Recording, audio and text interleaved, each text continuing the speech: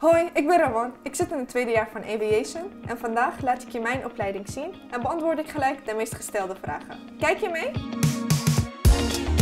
Onze school staat samen met andere HVA-gebouwen op de Amstel campus. Ik vind het super gezellig. Ik woon in Hoofddorp en ik ben binnen een uur op school. Het metrostation ligt tegenover onze school, wat dit super handig is. Ik wilde altijd al iets in de techniek gaan doen. En ik was van jongs af aan gefascineerd door vliegtuigen en vliegen. Een groot pluspunt voor mij dat de opleiding grotendeels in het Engels wordt gegeven. Ik ben in het buitenland opgegroeid en ik heb al altijd Engels gesproken. Het eerste jaar maak ik kennis met de twee afstudierrichtingen. Air Transport Management en Aviation Engineering and Technology. Tijdens ATM houdt je vooral bezig met de logistieke en de bedrijfskundige kant van het vliegen. En bij AIT leer je hoe een vliegtuig in elkaar zit. Hoe onderhoud je bijvoorbeeld een vliegtuig en hoe optimaliseer je de vliegroutes? Aan het eind van het eerste jaar kies je één van beide richtingen. Een jaar is verdeeld in vier blokken van 10 weken. Elke blok werk je aan een groot project met individuele en groepsopdrachten die wij beroepsproducten noemen. De opdrachten zijn gebaseerd op de praktijk.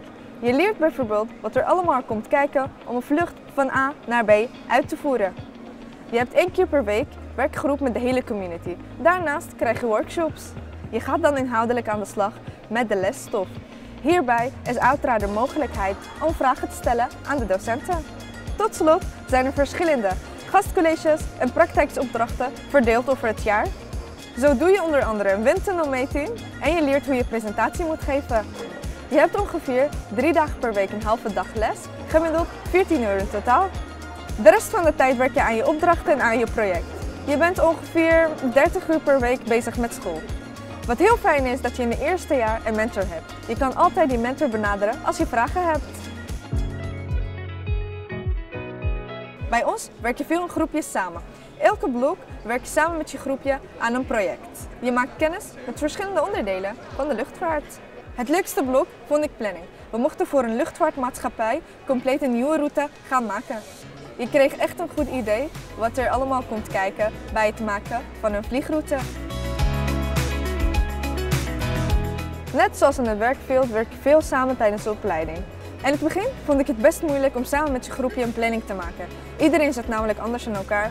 Een belangrijke les die wij hebben geleerd is dat je aan het begin een goede planning en taakverdeling maakt. En dat je elkaar erop aanspreekt als iemand hier zich niet aanhoudt. En als we er niet eruit kwamen, konden we altijd bij een docent terecht die hielp ons zodat we weer verder konden. In het eerste blok krijg je wiskunde B op havenniveau. Hiervoor krijg je geen tentamen, maar je moet online sommen gaan maken voor een bepaalde deadline. Het tempo ligt in het begin al best hoog.